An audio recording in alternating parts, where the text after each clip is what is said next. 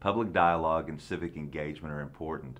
They play a role in improving the health and well-being of Texans across our great state. That's why Blue Cross and Blue Shield of Texas is proud to support Texas Tribune events like the conversation you're about to see. Please join me in welcoming the Honorable Craig Goldman, Stephanie Klick, and Ramon Romero. Thank you all for being here. So I got up today as I do every day. I'm a Texan. I got up every day uh, and I look at the price of oil because that's what you do if you live in Texas, right? So today the price of oil was just below 40 bucks. If you go back a year ago, the price of oil was about 60 bucks. If you go back two years ago, the price of oil was just over 100 bucks. We've seen the price of oil decline over the last two years. The oil and gas sector represents 14% of the Texas economy, not as much as it did or as high a percentage as it did when the economy collapsed a generation ago, when the oil and gas industry uh, took us down with it. Uh, so we have, you know, reasons for optimism. It's all going to be uh, good, but the economy is no doubt affected by the price of oil. Uh, Representative Klick, uh, you all passed a very large state budget that made assumptions about how much money we would have to spend based on a higher price per barrel of oil. Do you worry that the price of oil means that you actually overspent in the last session and that you can't, can't take care of all of us and do all the things you promised us you would do? I would say that the fact that we left money on the table uh, right now was probably a good idea. We didn't spend uh, all the money that we could have spent. Yeah. Uh, and it, it's a good thing. In, in retrospect, a conservative budget was the right Right. budget to pass. Absolutely. Yeah. Uh, We don't know uh, what the price of oil is going to do uh, in the future and whether this is going to be a short-term or a long-term thing. And so we were fiscally conservative Conservative. and responsible with Right. tax dollars. Now, Representative Klick, you also voted for what amounted to almost $4 billion in tax cuts, uh, increase in the homestead exemption, and also a 25% decrease in the business tax. Do you think, knowing what you know now, that giving almost $4 billion back to the taxpayers of Texas was a good idea, given the price per barrel of oil? Absolutely, because uh, the taxpayers deserved that. Yeah. Uh, So just as simple as that, no, no regrets. No regrets. Representative Goldman, do you worry that maybe you all got out a little bit over your skis in terms of what you thought you could afford to spend and what you could afford to give back to all of us, given what you know now? Well, I didn't sit on the Appropriations Committee, but something tells me the Appropriations Committee had a pretty good time last session because they basically funded everything that they needed and wanted to fund. It was a Santa Claus budget in a lot of respects. Right, but it was also a conservative budget and providing tax cuts like you mentioned. Um, But also, again, like Stephanie mentioned, leaving close to $4 billion for us to use for next session was a conservative thing to do. Yeah. Um, Obviously, oil prices affects us, not as much as it did last time. Look how diversified we are now compared to where we were in the 1980s. Yeah. In the 1980s, this oil prices would have crippled us. It did cripple us. Our entire economy, we're so diversified now. Uh, go try and buy a home in Fort Worth right now. By the way, welcome to District 97. Um, uh, but go try and buy a home right now. It's difficult. The second a home goes on the market, it's sold. That didn't happen in the 80s. Now, you know, Representative Goldman, that the, uh, the unemployment rate in the state of Texas has been below the national un- unemployment rate for more than 110 months. But it's possible that as a result of job losses in the oil and gas sector, those streams may cross. Do you worry about the employment picture in the state? I, on the news this morning, DFW just put out a, a they're having a job fair right now for to hire people. Yeah. Do oil? I read we're roughly 250,000 jobs right now have been affected by the decline in oil prices. In reality, what I think is happening is those people that went out to Midland to take advantage of the oil price, you know, hike, and receive jobs, uh, are now working elsewhere. Yeah. And I'll give you a perfect example. My bootmaker, I'll give a plug here, great Fort Worth boot maker, uh, Lusky's down in the stockyards. His guy who hand makes the boots got a job in the oil industry because he was going to get a higher wage. Now that that job is gone, he's gone back to make handmade boots. Yeah. So it's not necessarily that, yes, that particular job was lost, but there's not like there's not more jobs out in Texas. Right. Representative Romero, you're a Democrat in a legislature that is dominated by Republicans, but certainly there are Democrats, and you may be one of them, who believed, contrary to what Representative Klick said, leaving money on the table was not a good idea. You had a lot of money to spend. Everybody has their hand out at a time when there's a lot of money left uh, uh, to be spent. Public education, health care. I mean, go down the list of priorities. People said we had the money, we should have spent the money. Do you think that was a good decision or a bad decision in retrospect? Uh, Well, first of all, you mentioned getting over your skis. You know, if you're going downhill, you just go faster. If you do it in deep snow, you fall on your face. Yeah. Uh, you know, that's that's the fear I think that many Democrats uh, have uh, when when you talk about things uh, such as unemployment, tax cuts, uh, at a time uh, when only 126 dollars uh, went to the, the to an average homeowner, and not everyone owns a home. Uh, so not all Texans felt that tax cut. Uh, franchise tax, 33% of that franchise tax, franchise tax went to people outside of Texas. You can argue that that brings more jobs, it makes Texas more business friendly. That still doesn't make a difference to the average taxpayer, the working class family who might be on minimum wage. Yeah. So I would argue that when we had additional money, and we still know that, that we're going to be facing this education challenge uh, with the Supreme Court decision here, we could have started spending money Yeah. at least to study what we're going to need, uh, you know, to be prepared for this decision from the Supreme Court. What would the Romero budget have looked like, different from the state budget that passed? If you could have had that money back that you spent on tax cuts, Well- what would you have spent that money on that we didn't spend money on? Our governor, the number one emergency item was pre-K kindergarten. Pre-K. Pre-K, and we knew that we needed it somewhere in the neighborhood of 500 to 600 million dollars. We as Democrats were told, go see what you can do with 100 million dollars. And to the news, to most people, it'll look like yes, we funded pre-K, we we we added money, but we didn't properly fund pre-K. I certainly would not have spent 800 million dollars on border security, and now here we have a senator who says that that number needs to be closer to 3 billion dollars.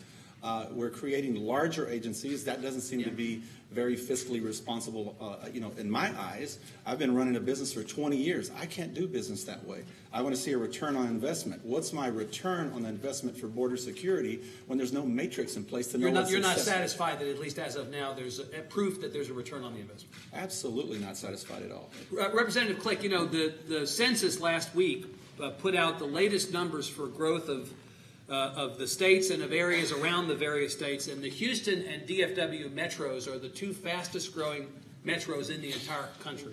Texas has some number, four or five of the 10 or 15 largest metros, uh, fastest growing metros in the country.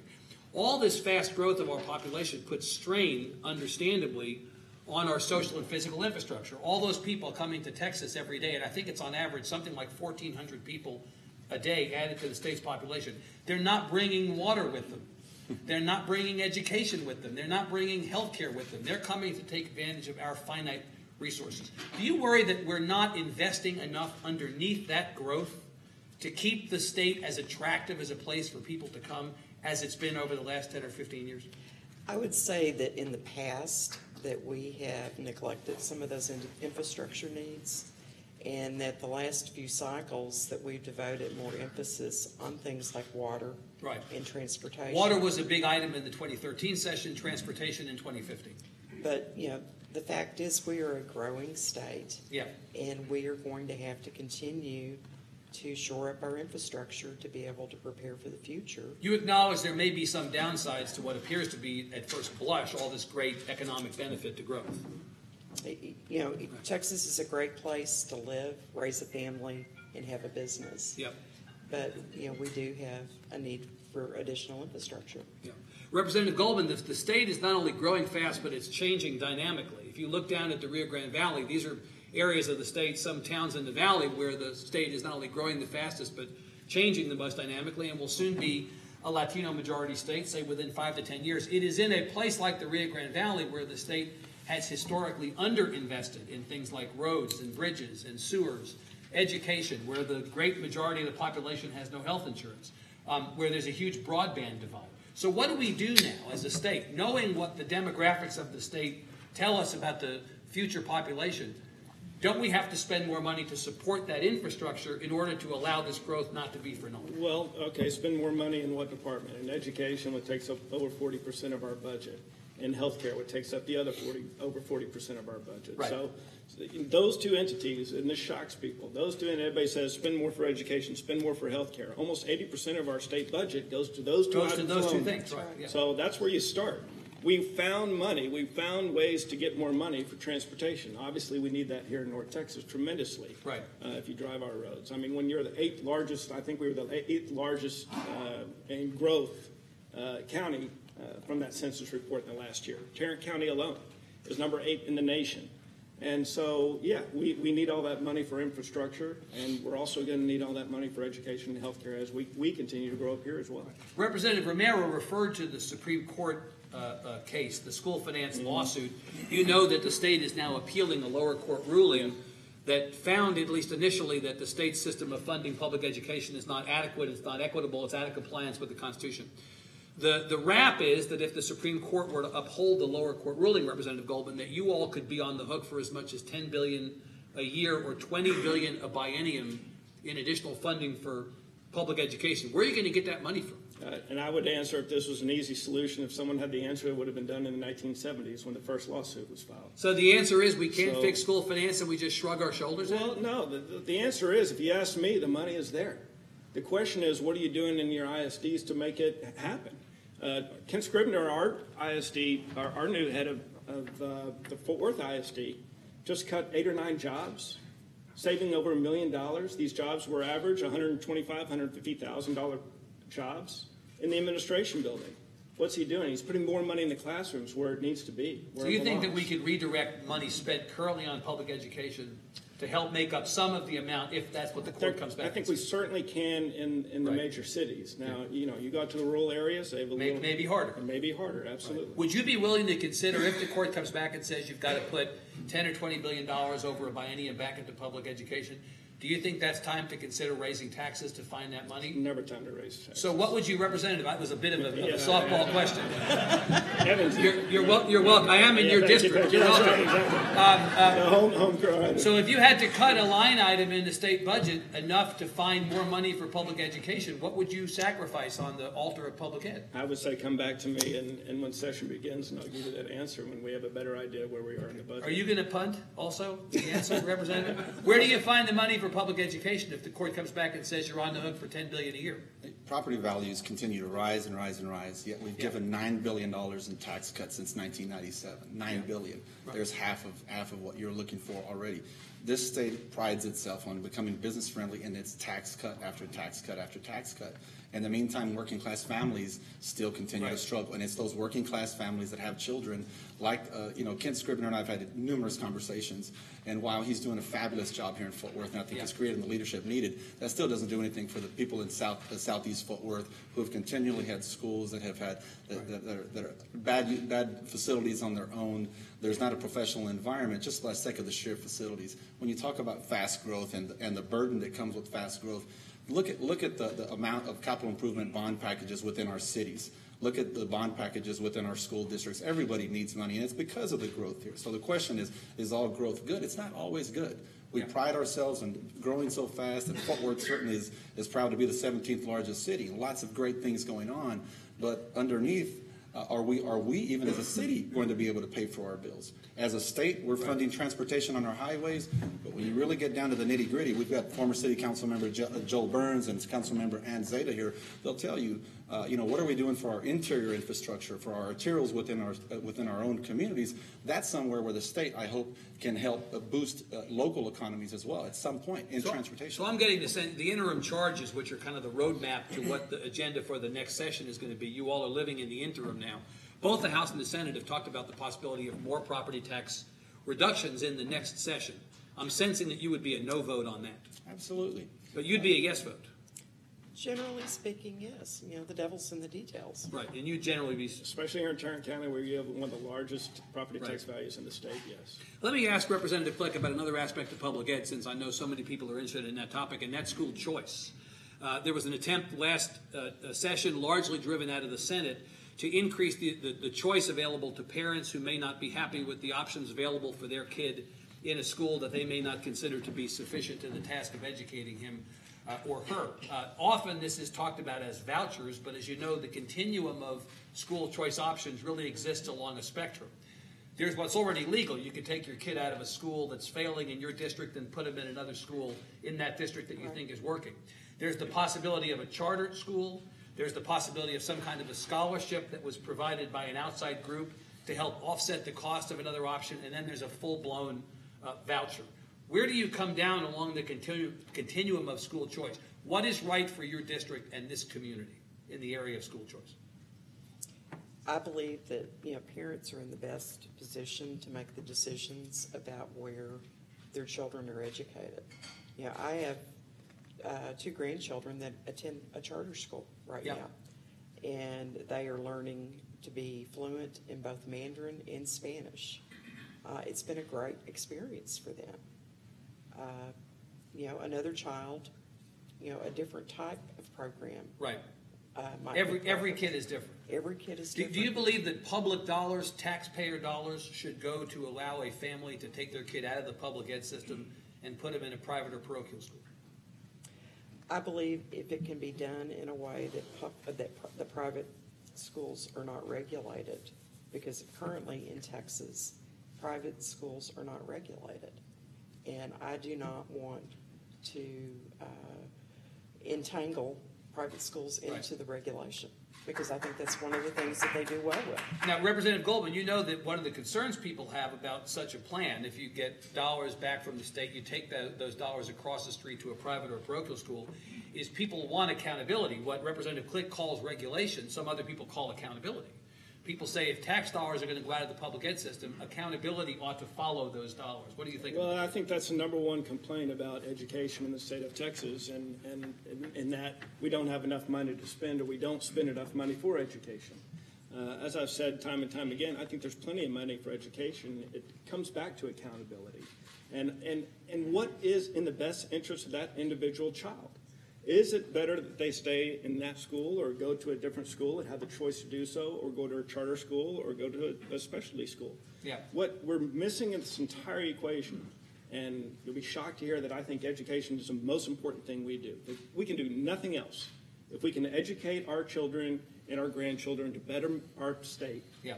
we've done good. And yes, part of that is putting money in the system. But if you, if we continue to hear that the answer is more money, more money, more money, we're getting rid of the accountability, you know, equation and what is in the best interest of that child. So, Do do you believe there's a, cor- a correlation between spending and performance in public education? absolutely not. You believe there's not? No. So when the TEA says that on average, the schools that are rated exemplary spend thousand dollars per enrolled student more than the unacceptable schools, I went into journalism not to do math. I can, I can do that math. That sounds to me like a correlation between spending and performance. Evans, when I first got in the legislature four years ago, I asked my then chief of staff, show me that money matters, because back then it was all restore the funds for education, right? Right. Five billion dollars. So I said, show me where money matters, and I'll put in as much money, I'll be for, I'll stand up there on the front mic, back, back mic. You'll be the loudest advocate. the loudest advocate. Right. So we came back with a chart that we got from TEA that showed that when spending went way up or came down a little bit, then went way back up, test scores stayed flat over a 10 year time period. Yeah.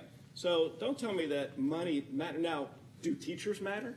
Absolutely. Would I love to pay teachers more than what they're making right now? Absolutely, because every single one of us in the room has been affected by an incredible teacher who's touched them in a special way um, and affected their lives and maybe helped them choose what But career money they're gonna go doesn't guarantee that you're gonna have that impact. Absolutely not. It's the people that are in our schools. Right. Not in the administration buildings, but in the schools actually teaching the kids that matter. Representative, there's a lot of controversy over the cuts that Representative Goldman alluded to. They were in place before any of you got in the legislature in the 2011 session. A historic cut to public education made necessary by a historic budget shortfall. Can you point to a decline in the quality of education or any ill effects that can be quantified as a result of that cut? A lot of people said, hair on fire, this is going to be the end of Texas. We're all still here, uh, five years later. Well, we're, we're having to lower our standards. You know, we lowered our standards. You know, now we're, we're so proud that ninety percent of our kids are graduating high school, but yet they go to they go to a community college or they go to a four-year university and they find that they have to take remedial courses. That's proof. And every time a child go, you know, has to go through that, what does their future look like? They're going to quit school and they're going to go get a minimum wage job or they're going to try to get some trade program. And you associate that change in standards, Representative, with less funding of public education? I, I- believe so. I believe that after years of lack of funding, proper funding, we still rank at the bottom of the nation in terms of how, how, how we rate, how we fund our, our children per child. Right. So therefore, absolutely, it's taken years for us to get here, and our kids are not prepared to be in the workforce. They're not prepared to be in four-year universities at the level that they should be. Think about this. You mentioned that, that Latinos are the vast majority now. Or soon to be the majority, Less than ten percent of, of, of Hispanics, Latinos that enter a four-year university graduate. while their white counterparts graduate over 50, almost 60 percent. And what does that tell you about what we're doing wrong? in the schools that are the, the that are the poorest, in the schools that are that, that, that are that are generally people of color or, or persons of color, uh, in those communities, we we have not got it figured out. And while uh, it's easy for Goldman to say, or Representative Goldman to say that uh, uh, you know that we that is that it's not about the dollars, and, and point out well, some schools are doing it correctly. That's like saying that Ramon Romero uh, is a success because he came out of a poor neighborhood. Well, the reality is, I went through the little pinhole, but far too many don't make it through that pinhole. And until we, redistricting has created a lot of this mess. I, I, I'm on the floor and talking education with other representatives, and they say, well, my kids don't have those problems. Well, they're not your kids, they're our kids. They're our kids, whether they're in the Rio Grande Valley or whether they're in North Texas, in South Dallas, or in East Fort Worth. They're our kids. Um, Representative Klick, let me shift over to another area of social infrastructure, healthcare. Uh, we are now in the month of March, six years since President Obama signed the Affordable Care Act into law. You know that the disposition of Texas toward this law has been not just no, but hell no. We chose not to create a state exchange. We've not embraced key aspects of the Affordable Care Act, despite the fact that the state has the most people without health insurance of any of the 50 states. Our uninsured population has declined in the last six years despite that. We're now just below 20% uninsured. The DFW region, including Arlington, is about 21%, a little bit ahead of the state average in terms of the uninsured population. Um, but we have, we have declined. Um, the legislature, from what I can tell last time, Representative, didn't do very much at all to address the issue of the access to insurance or access to care problem. And the health care cost curve, which we've talked about a couple different times at a couple different events, has not been bent. In fact, it's hockey sticking. It is about to overtake education, if it is not already, as the number one line item in the state budget. Why haven't you done more on health care? Or am I wrong in thinking that this is maybe the most important problem that we face as a state? It is a very important problem that we face as a state. And one of the things that we have done is moved a lot of Medicaid populations into managed care uh, with the hopes of reducing cost, improving access to care. And that transformation is still, still underway. Is that resulting in more people who did not have health insurance now being able to walk into a clinic or walk into a doctor's office, walk into a hospital and get treated? What happened after the Affordable Care Act passed, even though we as a state did not expand Medicaid, we had a huge spike in enrollment in Medicaid with what is known as the woodwork effect. These were individuals that were already eligible for services but had never signed up. Right. And immediately, those numbers spiked 180,000. So do you think we're, in, are we in a crisis? You know, a lot of people will say, speaking of hair on fire, that we're actually in a, in a, in a crisis position with regard to healthcare access in the state. Do you think we are? I think that we do have issues. Uh, one of the problems that we have is people are accessing the wrong kind of care in the wrong setting. You see a lot of folks that will end up in the emergency room, which is the most costly place Right. to receive care rather than a more appropriate setting. Right. Representative, this is said often about the healthcare situation, not just in Texas, and, but, but elsewhere. Well, if you don't have health insurance, you can always get treated. If you're sick, you can go to the emergency room. Hmm. Right? We know that the emergency room is the most ine- inefficient and most expensive form of care. And while it may be free to somebody who accesses it, somebody without insurance goes in and it's free to them, it's not free to the rest of us. All of us see our taxes go up in the form of the uncompensated care costs. That's one of the reasons that many of the people at the county level are advocating for an expansion of Medicaid, because they're feeling that pinch in the county hospitals, at the county level. That's where those costs are hitting. What should we be doing that we're not doing? Are you satisfied with what Representative Klick is saying? There'd be less people at the emergency room if more people qualified and we expanded Medicaid, and they'd have, they'd be covered, and they would be more likely to take advantage of preventative care instead of uh, going in uh, and creating a different effect for that doctor or nurse. Imagine helping someone with preventative care for diabetes versus seeing someone when they're completely emergent. Yeah. Uh, and now, you know, their bellies are about to explode. Uh, and that person has to take care of that person essentially 24 hours.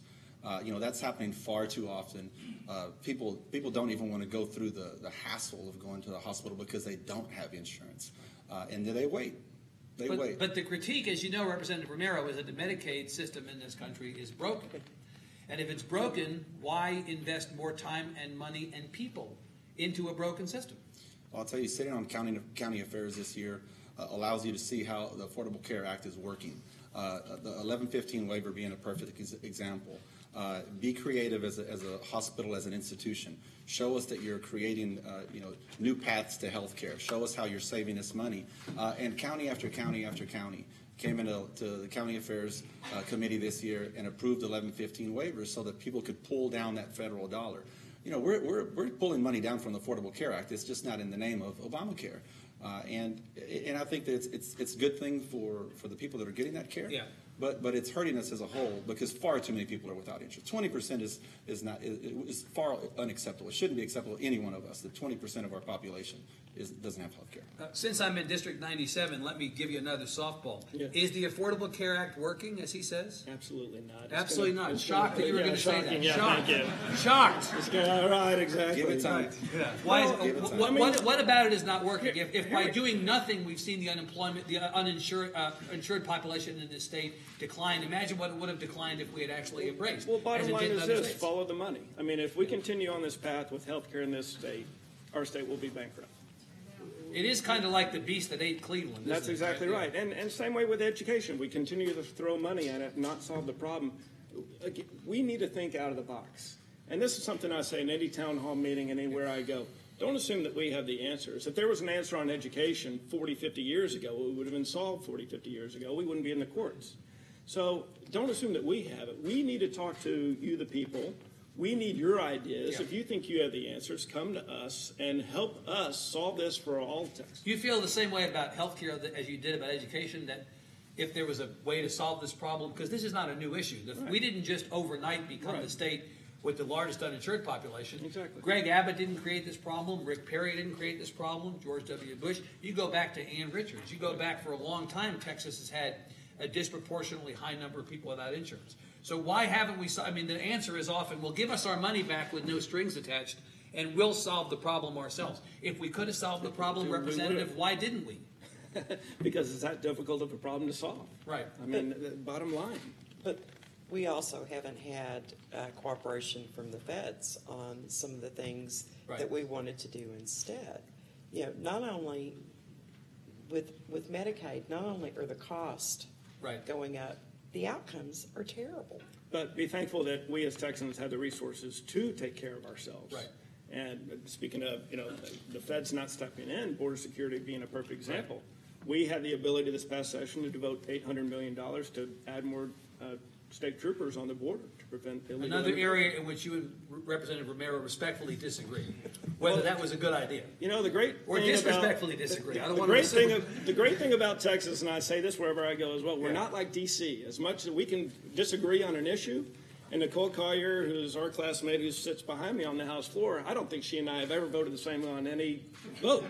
Uh, in, in the two sessions we've been there. But on we okay. respectfully ag- Right. agree or disagree with one another and move on. And I think part of that is because unlike DC, your desk may, may be a Democrat. That's true too. Right. Do you feel as charitably toward them? We are all paying taxes. Unfortunately, Texas has become the launching pad for presidential elections. Right. And because of that, we have, have set our sights on Washington, and everything out of Washington is bad. It's automatically bad. It's automatically bad. We're anti-Obama, we're anti-Washington, and yet we're really not holding ourselves accountable for these decisions that we make. An example uh, would be the 800 million we spent on border security. Uh, when you really dive down and you do the math, and you see how many apprehensions are actually responsible, DPS is responsible for, the numbers translate to over $2 million per DPS apprehension. Is that what Texas taxpayers, Republican or Democrat, actually feel is a wise way to spend our money? I don't think so. Uh, it's just, Washington, you're not doing it, I'm gonna do the job for you. And that's a political. that works well when it comes time to be reelected. And, and that's what's happening. Let, let me ask about another issue somewhat as controversial as some of the ones we've been talking about, guns. This was a session in which open carry and campus carry were both voted into law by, uh, by the legislature. Open carry took effect January 1st, campus carry takes effect on August 1st. One of the provisions in campus carry was that you gave private institutions like the one we're at today an option to opt out. Now I know why Chancellor Boschini left. He's, he's you, sir, you, sir, unfortunately have Yeah. to stay for this question. So, as you know, TCU opted out. In fact, every in fact, in fact, in fact, every private institution that has been given the option to opt out has opted out. Why are they wrong and you're right, Representative? Well, I'm not saying that they are wrong, and I am right. We gave them the option. Right. But why is this a good policy for the state of Texas? Well, look, you, you can argue the Second Amendment. You can argue the fact that, um, you know, show me where it's been a problem on any campus in the nation where it is legal to carry a weapon. I mean, the, the whole true thing is about self-defense, right?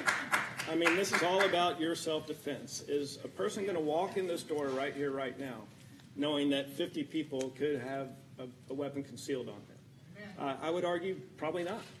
And so, if you ask me, uh, you know, that's part of why we, we gave the ability to, uh, to carry on campus and open carry as well. Representative, you know that around the state at many of the public institutions which don't enjoy the same opportunity to opt out, faculty members are protesting the fact that they're going to have to they'll have to have guns in their classrooms, and some are saying they'd rather quit than teach classes once this law goes into effect, in which they don't know whether a student they may have given an F decides to pull a gun because we are talking about 21 year olds they could be impulsive or emotional that's the concern that's the critique made you understand I, I, I understand that, uh, but I can tell you as a female, yeah I am asked to come on campuses many, many times to speak to classes, and a lot of times it's at night. And you have to park in a faraway parking spot. Yep. It's dark. Being able to defend yourself in those settings. I mean, for a female, a gun is a great equalizer. trumps every other consideration That's right. Right, Representative, you're not, you're, you're not, you're not a fan of this bill. No, I think that, uh, What part of the Second Amendment don't you like? I own, I own, I own a gun. I own multiple guns. Uh, I don't carry one in my car. I don't carry one on my person. I think it became a political promise. Uh, there's, there's clear Republican dominance right now in terms of numbers. And, and you know, the reality, to give them credit, they executed on a promise, on a campaign promise. It doesn't matter whether or not this was good for Texas or not. They're, they're. You think it's a political issue? Absolutely. This is, this is about a very small minority. That's why people are outspoken in, in private universities, public universities. We don't, the general consensus of Texas doesn't like it. You feel the same way about open carry, Representative? Oh, You feel the same way about open carry, that, that this is not a good thing for the state of Texas? absolutely. I, I don't believe, I mean, I, I am, people go up and shoot up police stations and they know that there's, there's, uh, you know, guns inside the police station. The You know that forty-four other states represented, I mean, uh, represented before Texas had legalized open carry, right. including the great Satan of states, Massachusetts. And- They had open carry before we did.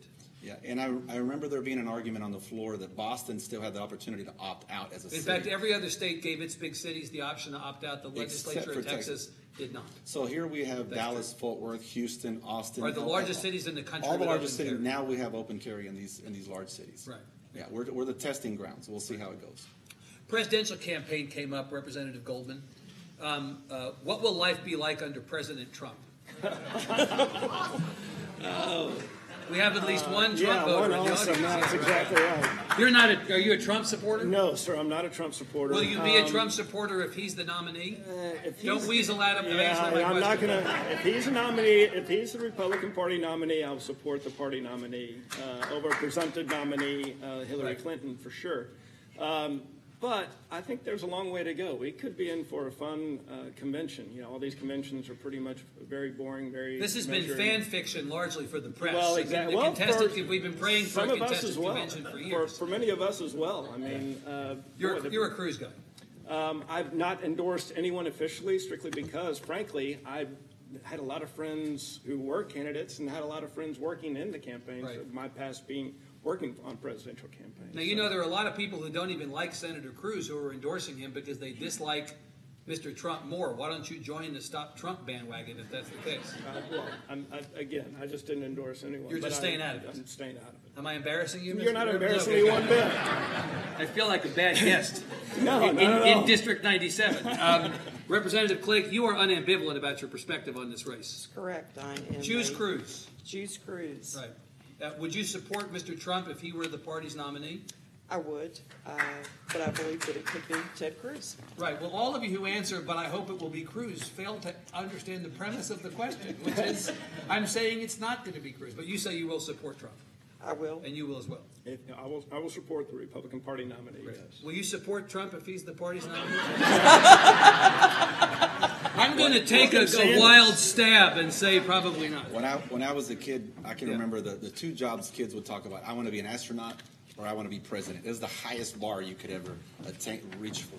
And today, the Republican Party is saying at this point Yeah. that Donald Trump is the best that we can offer from our side. From our side, I think that's I think that's a sad day. Is your side any great shakes, Representative? Oh, I think I think we're doing much better. You do? Who's know, your candidate? Hillary, absolutely. Yeah? Yeah, absolutely. Yeah, I, I think I think she- she's going to make a fabulous. thought I was in a red county. Wait a Yeah, right, exactly. That district. I, I, it's, it's very funny when, uh, you know, being a business owner, how many times I talk to folks and say, you know, Ramon, you should really, you really shouldn't push back against Trump so much. You know, he's a business owner just like you. And I asked him, have you ever been on the wrong side of a bankruptcy? Have you ever, have you ever had someone intentionally go bankrupt on you and know that they, they conserved as much money as they can here in Texas? You know, put all the money into your household, put all the money into your car, put it into retirement, and you have no access to that dollar. I've been on the wrong side of bankruptcy way too many times to ever support a Donald Trump type. Let me, before we go to questions from the audience, let me ask each of you, it's kind of like a game show speed round, okay? What is the one issue that should be on our radar screens and may not be heading into the 85th session? You can wave your wand over the agenda, over the emergency items, over the interim charges. The one thing that we're not thinking about that you think we should be thinking about to improve life for your districts and life for the state, what would it be? Unintended cons- consequences due to, due to tax cuts. Look at Southwest Petroleum's lawsuit right now. Yeah. So uh, the, the risk of the social safety net and other impacts of tax. Every, we've, we've given tax cut after tax cut, and we didn't realize that the lawyers were gonna div- divide that and, you know, turn that, that language into something that's gonna cost us for the long term. Representative, what should we be thinking about that we're not thinking about? Uh, One of the things that I uh, have been working on is some of the new and emerging uh, infectious diseases. Uh, We've got Zika in Right. Texas right now, and we need to prepare for it. And Have, Yeah. have we sufficiently, I mean, we've had both the Ebola uh, uh, virus and uh, Zika both come to Texas early among the states. Is- Are we doing something wrong? Are we, are we somehow courting disaster here? What, what are we doing? I, I, uh, as far as Zika, most of the cases that we've had thus far have traveled to uh, areas where it is very prevalent and have come back here. But we have environmental conditions here that make it uh, likely that those mosquitoes uh, could reproduce here So what, I- well. I'm gonna have to stay with you on this because I'm fascinated that this is where you went. What is it that we should be doing that we're not doing? One of the things that we have done is I passed legislation of establishing a permanent infectious disease task force. There was one temporarily uh, appointed by Governor Perry after we had our our Ebola. Ebola, right? But the risk is not going to go away. It may not be Ebola today. It may be some new and emerging, uh, or some disorder that had gone dormant and has reared its ugly head Pops again. And we need to, Okay. uh, to keep an eye out for that. And I do think that in the next few months, uh, Zika could, could be a significant threat for us to be concerned about. Representative, what are we not thinking about that we should be thinking about? Well, I mean, like I said, we had a great session last session. We know school finance and education is probably going to be number one on the list this session. Uh, I'm going to continue personally, uh, once I got put on the licensing committee last session, uh, we met with the governor's office and they presented us a book that he campaigned on about deregulation. Uh, so that's something that we're going to be working on for sure is deregulating different industries. Uh, people may be shocked to know that you go to a barber or a stylist and the, the person who washes your hair, they need a license in the state of Texas. Uh, there are a whole bunch of those on the books that need to be taken off the books. Okay. Let's stop there. We have microphone on the side, microphone on the side. Um, We'll, we'll take as many questions as time permits. I, I want to make one very strong request, moderator's privilege. And that is, don't make a speech, ask a question, and please be respectful of our guests and of one another, because I will bust you if you're not, okay? Sir? Good afternoon. Um, I'm asking this question from the perspective of sustainability, not social justice, not, many of the issues you discuss really have to do with sus- sustainable economy in the state of Texas. But where are you on the position of income inequality as it impacts the economic sustainability for Texas? Do you think income inequality, Representative Klick, is a legitimate issue? We've heard a ton about it in this campaign. We know that the income gap, the gap between rich and poor, has not materially moved, shrunk in 50 years in this country. And that Texas is high up among the 50 states in terms of the size of its income inequality uh, gap. Should we be paying attention to this? I think that one of the solutions to that is a great education and opportunities uh, in a state like Texas that is growing. Uh, you know, we we- have a different type of government in that you know income inequality is assumes that everybody should have the same income, and, and that's not the way we work economically uh, in this country or in our state. So somebody for whom income inequality is a pressing issue might say that the education answer you gave is a passive answer. The question is whether we should be doing something actively to try to reduce the gap, and it sounds like your answer is, is no. Well, I think we need to provide opportunities for people, And just leave, and just leave it there. you know, be it an education opportunity. With a good education, the world is your oyster. You have many, many opportunities Right. with Right. great And, education. and if I may, it's personal responsibility. I mean, we, we do an incredible job providing you a free education up until, you know, a college year. Then the onus is on you. Now that you've had a, hopefully, you've gone out and seeked and received a very good education, um, now you can either go and get a higher education or not, but that's up to you. Uh, I went to a conference right after session in Florida with legislatures from all over this nation. And every single one of them is jealous of the way we have it in Texas. We've created, our government has created an incredible model to follow that the rest of the states are jealous of. The jobs are here. The question is, have you done enough in your life to get that education in order to go get that job?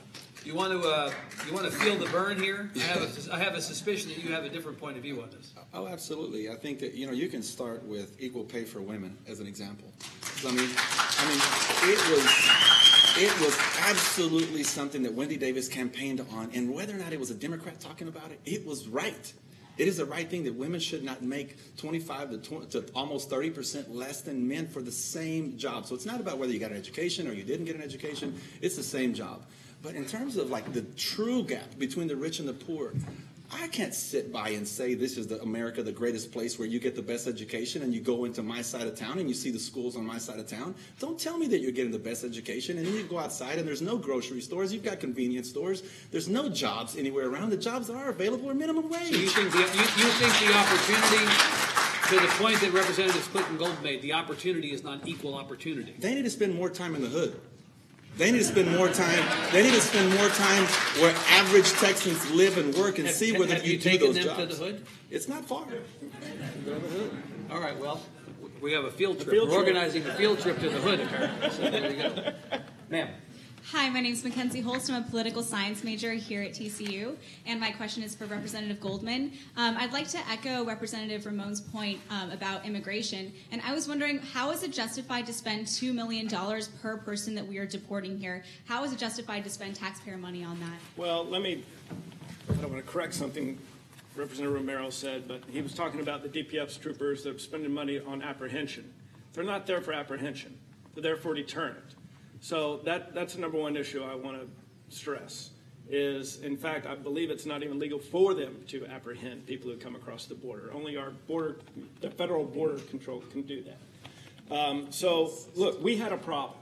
We still have a major problem of people, not just from Mexico, from all over the world, coming across our border. And I've said this as, as well wherever I go. God forbid that the, the people who uh, were part of 9 11 didn't come across the Texas Mexico border. What do you think the result of that would have been? Every single uh, uh, entity from the national government would have gone down there to protect our border. So um, we saw a problem. We talked to uh, many people who were down there at the border who are Texas citizens who know it's a problem, and we did something about it this past session. You, you know, the Obama administration says that the number of um, deportations in the last seven years has actually been larger than in the Bush administration, that the net migration across the border is down around zero, which would suggest that maybe the border is not as insecure as some in Texas suggested at the time that this debate happened. Do you challenge those numbers? No, of course I challenge those numbers. I challenge him to come talk to our DPS officers who are down there watching it still happen every single day. Or the ranchers. Or the ranchers. Or the ranchers, right. The people are actually down there ranching and trying to earn a living. Ma'am, Uh, hi, my name is Leah Payne, and I just moved here from Midland, Texas. We worked in the oil and gas industry for 10 years. We moved here so my husband didn't have to sleep in his truck and worked 100 hours a, a week. Now we're through our second layoff. Um, however, that's not, uh, that's not my concern at the moment. My concern is what we're not answering, and that is how can the GOP and the Tea Partiers say that they're fiscally conservative whenever we're spending, want to spend, what, $3 billion now on the Border Patrol? That's, I mean, can you answer that? 800. Because Well, that, that's what your colleagues Representative have Klick, said. I think the number that, I'm not sure where that number is coming from. I'm not either. I Yeah. It's believe from that Senator gets from- Birdwell. So From, that, I'm that he sorry? would like for us to increase all of our spending. And at, at the border, but we're all fiscally conservative. How, how can you correlate that? You know, Representative Klick, this was an argument to the questioner's point, to Representative Romero's point earlier. The House wanted to spend just under six hundred million on border security. The Senate wanted to spend about eight hundred eleven million, I believe. You all settled at about eight hundred. The argument of some in the House was that the lesser number was the more conservative number, because the larger number was simply throwing money at the problem. Do, do- do you, are you sympathetic? You're somebody who wants to be sure that every dollar that's spent is spent wisely.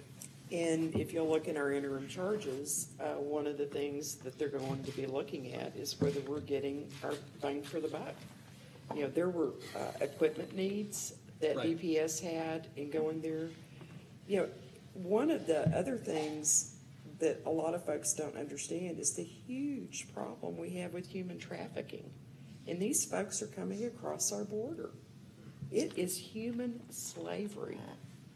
And DPS can play a, a big role Yeah.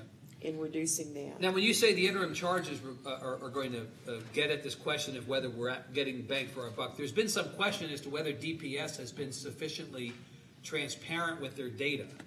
There's been an attempt by the press and by others outside of DPS to get access to DPS data to answer that very question, and that data has not been forthcoming. Are you satisfied that you have adequate information as a legislator to know that? I am unaware that there have been difficulties with the press. I don't know whether it is a matter of the data not being available now. Yeah. Uh, You know, so I'm. I'm Your, unaware your of colleague, portion. Representative uh, Blanco from El Paso, has made this kind of a one-man crusade. Absolutely. To try to get more data out of DPS. You're, you're not satisfied that the data is. What's our goal? What's Yeah. our mission? If, if our goal is to not apprehend, which we can't assist in apprehension, or is it to view the people coming across or however, then what is it? How many should we expect? How many, how many assist, how many times do we have to assist the, the immigration officer? But one thing that we have to make sure that we understand, and this is something that isn't ever talked about on the Republican side, is Ryan Guillen gave one of the most passionate speeches that I've ever, that I heard all last year. Democratic representative from the Valley. Yes, and he explained, imagine you going a 40 mile trip and getting pulled over eight times because you have a tail light out or because you have a headlight and you're getting pulled over and pulled over and pulled over. And as Ryan said, look, I'd fix it right now if I could. Stop pulling me over. So families, and especially brown Latino families, are getting pulled over by DPS officers because they're brown. And, and how are the, how's the racial profiling going to work in this case when all the folks in the community are brown as well? So the, the average community down there in the Rio Grande, around, along in the valley, all along the border, Latinos are being pulled over, and they shouldn't be getting pulled over on the way to school, making their kids late. That's what our officers are down there doing. They're down there just pulling folks over. Yes, can they, can we show that they're helping?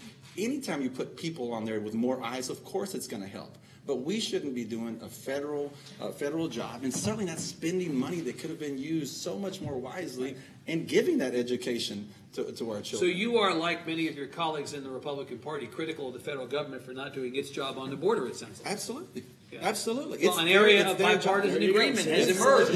No, I would tell In you. the 59th minute of this hour.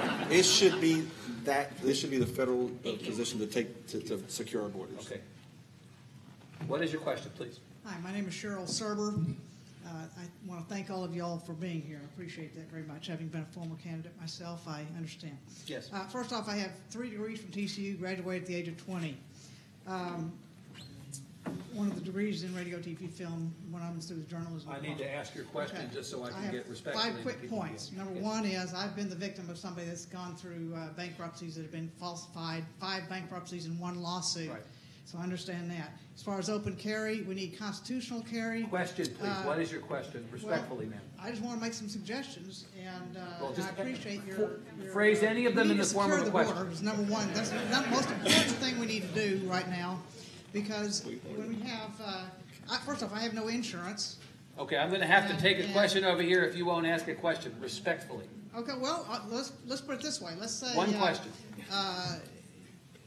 Do you feel that healthcare, the fact that somebody can be uh, an American, uh, can be sitting out in the hallways not getting health care because an illegal alien, for instance, is taking up bed space? Do you feel that that is fair, or that an illegal alien taking jobs from Americans is fair? Uh, do you think that? uh, Okay, that was two questions. I'm gonna take, I'm gonna, same I'm gonna take, I'm gonna take one, I'm gonna take one question. Do you, do, uh, Representative Klick, do you believe that we have a problem of undocumented people here making use of, of, uh, social and physical infrastructure that might otherwise, uh, be better used by people who are legal citizens in the state of Texas? I think we have people that are in need of care, that are seeking out care. Right, and you, and you don't care particularly whether their status is undocumented or documented, you believe those people should, should be or are entitled to care? Well, under federal law, uh, under EMTALA, they are required to provide emergency care. And, you know, n- nothing more than that. Emergency care is. A second area of bipartisan agreement in minute sixty. Sir? I have heard both Mr. Goldman and Mr. Romero arguing for better pay for teachers. Right.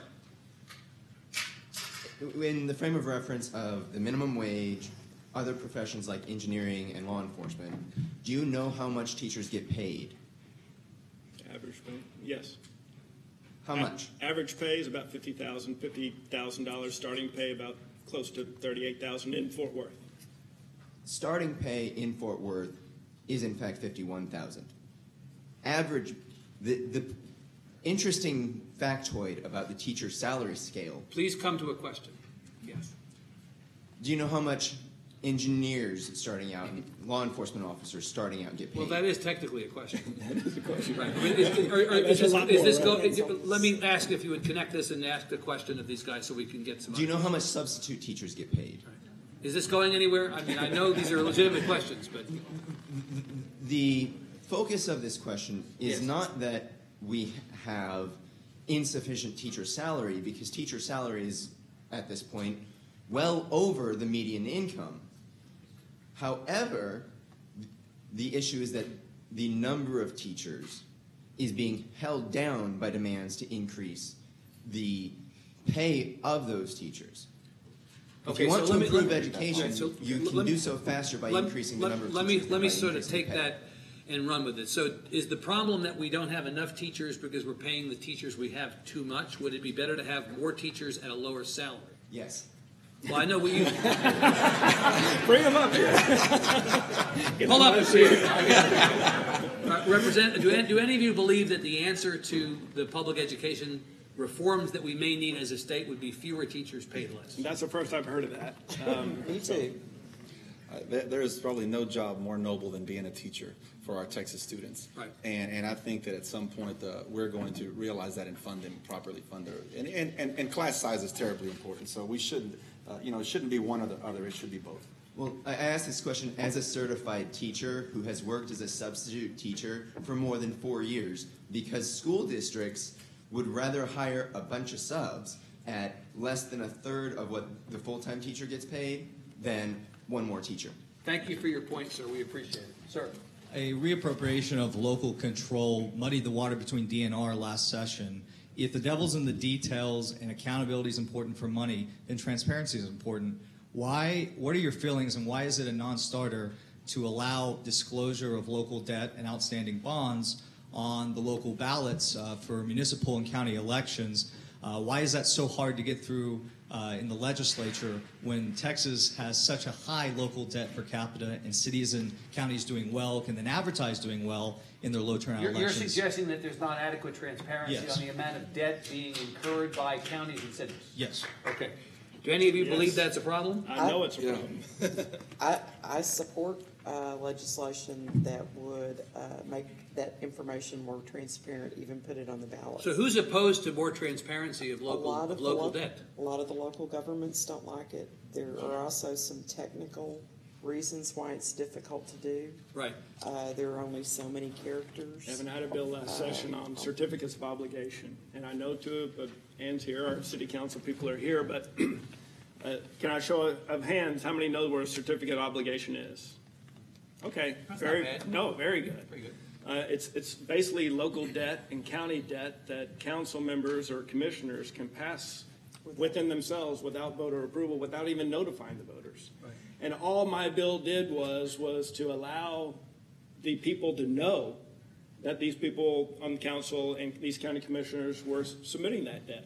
We had a, a city councilman come right after a bond election. That city council passed certificate obligation and took the debt of the exact bond election that failed in his own city. The council then put forth a certificate obligation, local debt, of that exact same amount. And his response was, the people that really didn't understand what they were Are, are you all in agreement about this? More transparency on this is a good thing.